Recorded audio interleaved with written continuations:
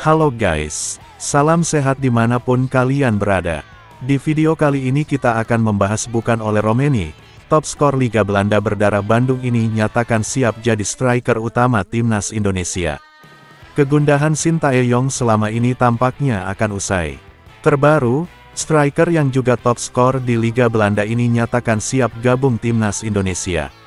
Seperti diketahui, Shin Taeyong dalam beberapa kesempatan pernah mengungkapkan kalau timnas Indonesia tengah mengalami krisis striker.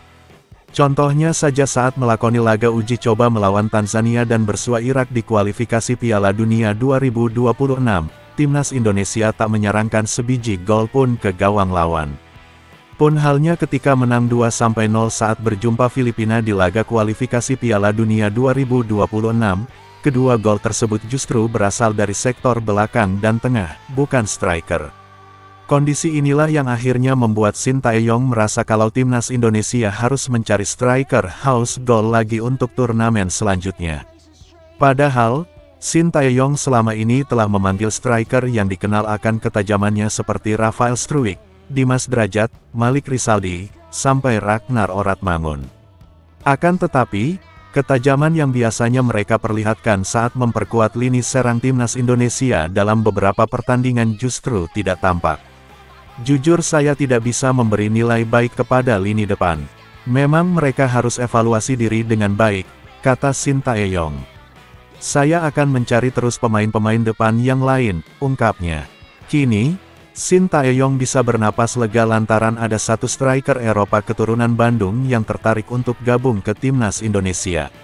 Pemain yang dimaksud ialah Mauro Zelstra, striker Eropa keturunan Jawa Barat yang pada musim lalu menjadi top skor kedua di Liga Belanda. Striker 19 tahun itu diketahui memiliki garis keturunan Indonesia dari nenek di pihak ayahnya yang berasal dari Bandung, Jawa Barat dan kini menetap di Belanda. Mauro Zelstra mengungkapkan bahwa dirinya pernah dihubungi langsung oleh PSSI yang menawarkan kesediaan bela timnas Indonesia, namun kini hal itu seakan menggantung. Aku pernah dikontak PSSI, aku masuk list striker yang mereka inginkan.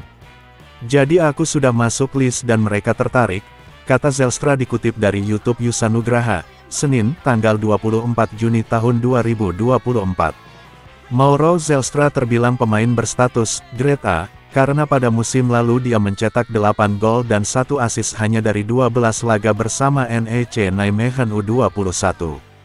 Hal inilah yang membuat Mauro Zelstra menjadi top skor kedua di Divisi 2 Liga Belanda U21 musim lalu. Kini dia pindah ke FC Volendam demi tampil untuk tim senior. Aku punya statistik yang bagus dan menjalani musim yang bagus. Aku pikir aku bisa bermain di sana kalau mereka undang aku. Aku pikir aku juga pemain yang menarik untuk dipantau, imbuhnya. Di lain sisi, kabar naturalisasi striker yang belakangan ini ramai dibicarakan yakni oleh Romeni tampaknya masih belum menemui titik terang. Sebelumnya, Pandit senior Bung Ropan mengatakan kalau PSSI telah mengupayakan proses naturalisasi dari striker keturunan Belanda, oleh Romeni. Akan tetapi, Exco PSSI Arya Sinulinga mengungkapkan kalau pihaknya sampai saat ini belum menghubungi secara langsung oleh Romeni terkait tawaran bela timnas Indonesia. Maka dari itu, Mauro Zelstra bisa menjadi opsi lainnya apabila oleh Romeni gagal mengisi kekurangan yang selama ini dialami oleh timnas Indonesia pada lini serang.